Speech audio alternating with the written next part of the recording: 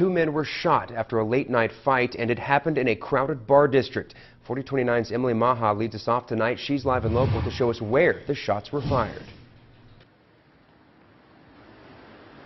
I'm here tonight on Dickson Street in Fayetteville, a popular spot for late night bars and restaurants. And it was right here on this 200 block of Dickson Street that police responded to a call about gunshots being fired after a fight broke out.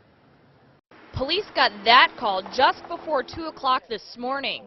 Police say there was a large disturbance between a group of men. Police say while they were investigating on Dickson Street, Two people arrived at Washington Regional Medical Center with gunshot wounds. Neither of the two victims faced life-threatening injuries. I spoke with several people who live in the area.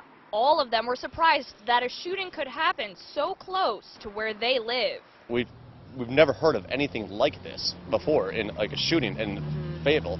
Uh, so, to me, it's uh, the safest place we've ever lived in our life. So to hear that so close to where we live is very shocking. Dan Hoffman and his wife Kate say they aren't going to let what happened change what they think of the area. This is a one-off situation, uh, a really random event. So I think this is a great area, and uh, we're going to be living here for a long time.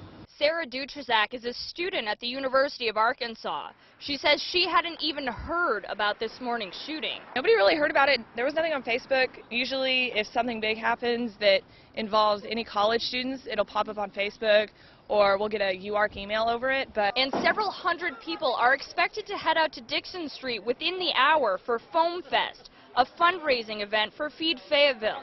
I spoke with organizers who say they're not worried about this kind of violence happening here. We live in such a safe city, and I think Fayetteville, I feel very safe in this town, and so I'm not worried about it. I think it was just a freak occurrence.